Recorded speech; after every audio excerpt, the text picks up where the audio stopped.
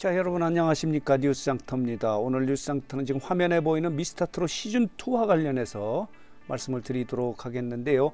오늘 밤입니다. 19일 밤 10시에 방송되는 5회 방송을요. 재밌게 볼 수 있는 관전 포인트 중심으로 말씀을 드려보도록 하겠는데요. 지금 화면에 보이는 이 장면은요.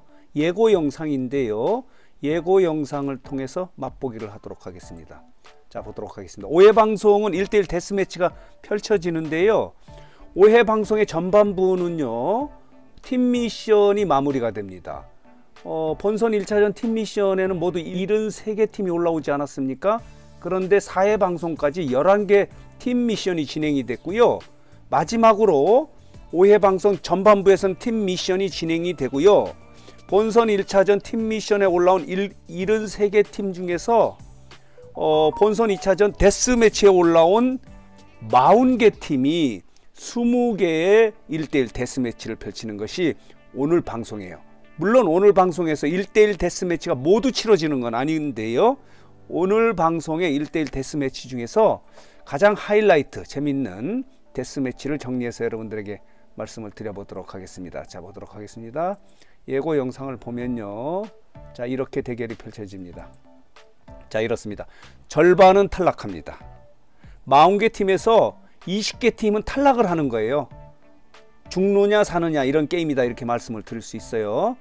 자 보도록 하겠습니다. 이 대결이 오늘 방송에 5회 방송의 가장 하이라이트 대결이다 이렇게 지금 어, 이야기를 하고 있지 않습니까? 진해성과 재하의 대결이에요. 왜냐면요 이 둘은요 KBS의 트롯 전국 체전에서 결승전에서 맞붙은 참가자예요. 진해성이 우승을 했고 재하가 준우승을 했어요. 재대결을 하는 것이다 이렇게 말씀을 드릴 수 있어요. 과연 재하가 승리할지 서력을 할지 아니면 진해성이 수성을 할지 하는 부분이 재밌는 관전 포인트다 이렇게 말씀을 드릴 수 있어요. 미리 보는 결승전이야 라고 이렇게 이야기하지 않습니까? 장윤정이 이렇게 이야기하는데 자 이렇습니다. 재하의 모습인데요. 천둥 고음을 갈고 닦았다. 이런 어, 자막이 나가고 있고요. 자 진해성을 보도록 하겠습니다. 진해성은요 이렇습니다. 진해성의 무대 모습인데요. 전통 트롯의 끝판왕도 필살기 꺼내 들었다. 과연 누가 승자가 될지 관심거리다 이렇게 말씀을 드릴 수 있습니다. 오늘 방송에 1대1 데스매치 중에서 가장 재밌는 대결이다라고 이렇게 지금 평가를 하고 있습니다. 과연 누가 승자가 될지 오늘 밤에 방송을 보시면 여러분들이 확인하실 수 있습니다.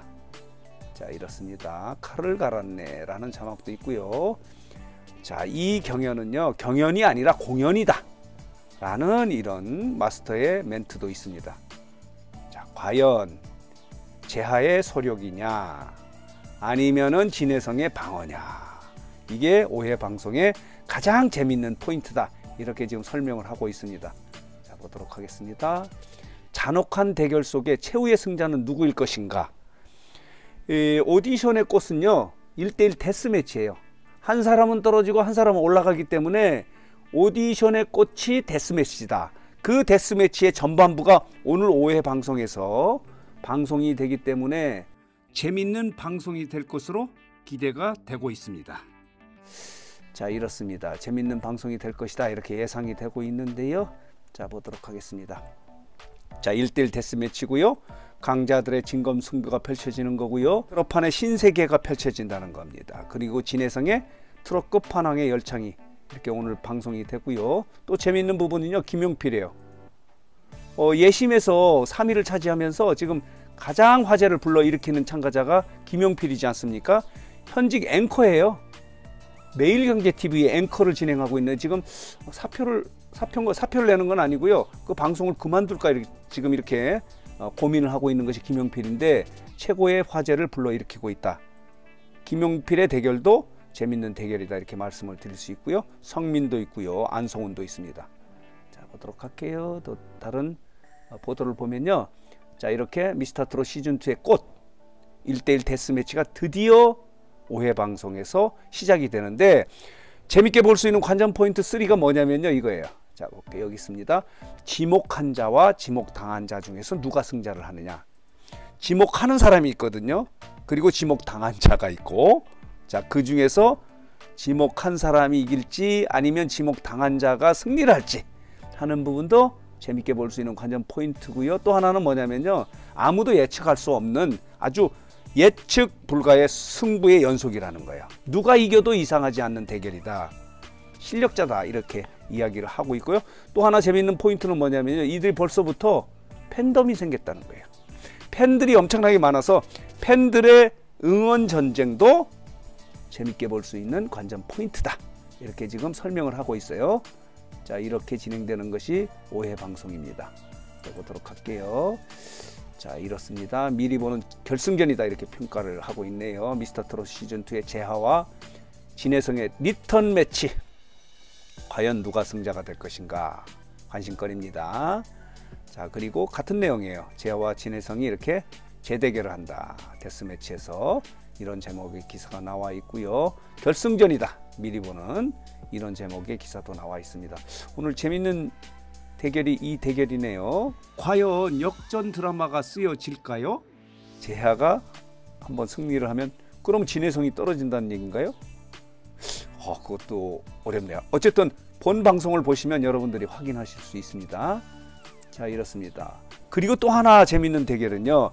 여러분 기억하십니까? 윤준협 어, 슈퍼모델의 1위, 1위를 했던 참가자예요. 엄청난 퍼포먼스를 하는 윤준엽이 14살 위 원조 아이돌 성민에게 도전장을 낸 겁니다. 내가 혼쭐을 내주겠다 이렇게 지금 벼르고 있는데 성민이 당할까요? 와, 이 대결도 정말 기대가 되는 대결이다. 과연 누가 승자가 될까? 도전장을 윤준엽이 낸 것 같습니다. 윤준엽과 성민의 대결도 재밌는 대결 중에 하나다 이렇게 말씀을 드릴 수 있습니다. 자 이렇습니다. 이런 자 이런 내용도 있고요. 또 같은 내용이네요. 윤준엽이 성민에게 이렇게 기세 등등한 도전장을 냈는데 이 선후배 자존심 대결에서 누가 승자가 될 것인가 하는 부분도 재밌게 볼 수 있는 관전 포인트다. 이렇게 말씀을 드릴 수 있습니다. 그리고요, 또 이게 문제가 되는 이런 기사가 또 나와 있네요. 어, 심사의 공정성 논란이에요. 이 참가자인데 박지연이 이 부분은 이미 나온 이야기인데요. 장윤정과 같은 소속사라는 거죠. 그래서 밀어주는 것이 아니냐라고 이렇게 이런 기사가 이미 나왔던 기사인데 또 나오 이게 오늘 아침에 나온 기사예요. 19일 오전 9시 53분에 업로드된 기사인데 디스패치가 보도를 하고 있습니다. 누가 후배를 밀어주고 있는가? 장윤정이 박지현을 밀어주고 있다라는 이런 의심의 기사를 쓴 거예요. 미스터트롯 시즌2의 심사위원회 덧. 왜 이런 기사를 썼을까? 이미 많이 나온 기사고 심사의 공정성을 확보하기 위해서 주형훈하고 그렇게 박선주를 지금 영입한 상태인데 아직까지도 문제가 해결되지 않았나요? 어, 그렇습니다. 그러나 일부에서는 이런 이야기를 해요.